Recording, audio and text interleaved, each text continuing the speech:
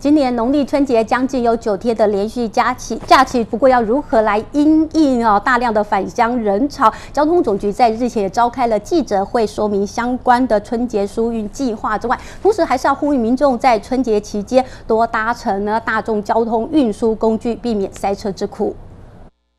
农历春节九天连续假期即将到来，迎迎春节返乡及游客人潮，公路总局日前召开记者会，说明今年春节的疏运计划，希望可以让在外地工作的民众顺利返乡庆团圆。今年的春节疏运哈，主要有九天。那我们主要目的，希望所有的民众都可以，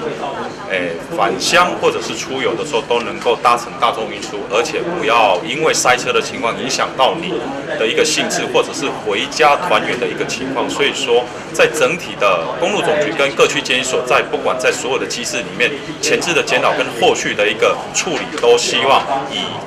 所有的民众能够以大众运输来做一个一个一个搭乘，那所有的国道客运往南啊、返乡啊，所有的国道客运长途的都已经有租了游览车，让大家可以在